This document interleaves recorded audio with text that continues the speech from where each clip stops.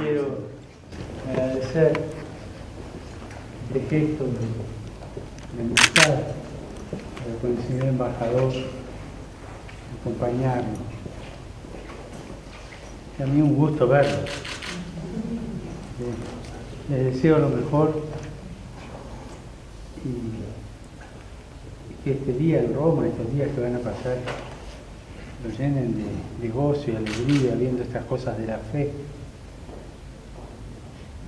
Y no se olviden de rezar con el embajador, porque tiene un trabajo muy grande y muy importante. No es fácil ser embajador, que acompáñenlo con la oración. Yo estoy a disposición de ustedes en mi trabajo y por favor les pido que recen por mí. Muchas gracias. Muchas gracias. Eh, no es costumbre usted eh, acudir a las recepciones, por eso valoro especialmente el nombre de mi presidenta, de la doctora Cristina Fernández de Kirchner y del gobierno argentino y del Estado y del pueblo argentino.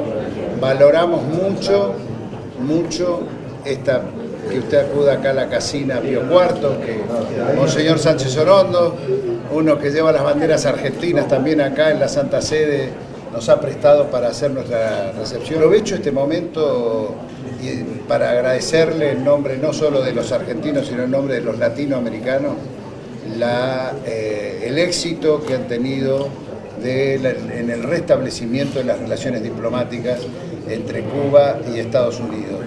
Y yo digo que esto confirma lo que nosotros en Buenos Aires decimos, que el Papa Francisco nunca le quedó tan bien el ser el sumo pontífice, el hombre que construye puentes y destruye muros. Y deberes desearle lo mejor en, eh, en su misión, en su misión, eh, que sea de ver una misión que sirve a consolidar los lazos de amistad entre la Santa Sede y Argentina y que sea una misión también que útil para la paz, el bienestar de todo, de todo el mundo, del, del planeta, en este sentido de derribar a los muros, o como nos dice eh, Papa Francisco, y de construir puentes. En nombre de, de nuestra presidenta, es el primer embajador que presenta cartas credenciales ante un papa que es argentino, que es latinoamericano, es un hecho inédito. Eh, se abre un tiempo nuevo para América Latina. Eh, el derribar los muros de la relación del bloqueo a Cuba y el reconocimiento de la dignidad del pueblo cubano eh, nos requiere a toda la generación de dirigentes argentinos de América Latina una nueva responsabilidad y un resurgir del pensamiento social cristiano.